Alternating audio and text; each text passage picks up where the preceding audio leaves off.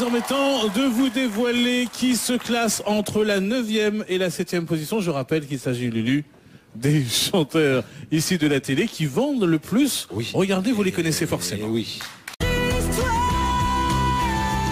À la huitième position de ce classement, on retrouve Grégory Le Marchal, vainqueur de la Starac en 2004. Au total, 750 000 albums vendus. Emma Domas, Grégory a également fait ses débuts aux côtés de Laurent Boyer dans l'émission Graines de Star à l'âge de 15 ans. Mais Grégory, c'est avant tout une graine de champion, puisqu'à l'âge de 12 ans, il devient champion de France de baroque acrobatique.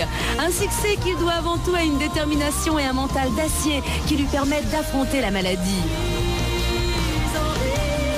Et moi, je peux vous le dire, il est plein de vie, Grégory.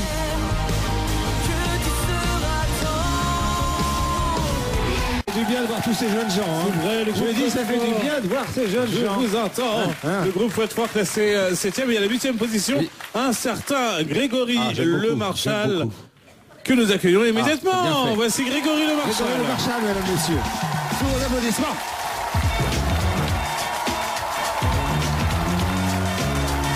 Grégory Le Marchal.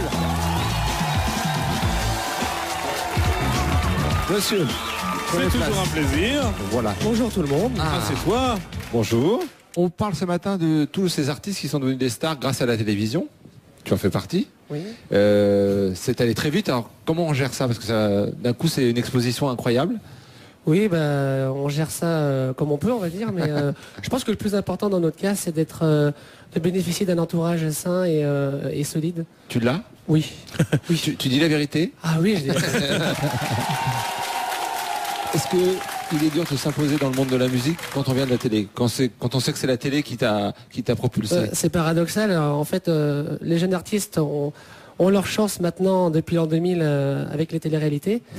Et en même temps, effectivement, ça devient très difficile de pouvoir vraiment se faire un nom quand on sort d'une télé-réalité. Et, et qu'est-ce qu'on fait pour lutter contre cette image euh, Eh ben, on bosse. Hein. On bosse Bah oui, il n'y a, pas d'autre- secret que le travail, de toute façon. En concert, est-ce que tu peux nous dire euh, ce qui t'est, ce qui t'est arrivé une fois sur la chanson Écrit l'histoire Tu te souviens de ce qui t'est arrivé en concert? Oui, oui, je, je me suis arrivé. Alors il faut que tu racontes. Faut que tu Ça racontes. Prends ton temps. Oui, bah c'est simple. Vas-y. Euh, J'étais en train de chanter Écrit l'histoire et puis, comme par hasard, au moment du passage, tu sais, Écrit l'histoire en haut, Oui. et ben il y avait des fans, tu sais, qui s'amusent des fois à jeter des peluches sur scène. Oui. Mais il y a une peluche qui a été lancée très forte, mais elle n'est pas atterrie sur scène, elle a atterri dans les bijoux de famille. Ah, parce que tu avais un collier. Attends, Tu avais un collier. Mais ça m'a aidé, ça m'a aidé à atteindre la note. Ah oui, ah oui, ça, t'a poussé vers le haut. cool, oui. Merci beaucoup en tout cas. Merci à vous, merci. Merci, oui. Porte bien.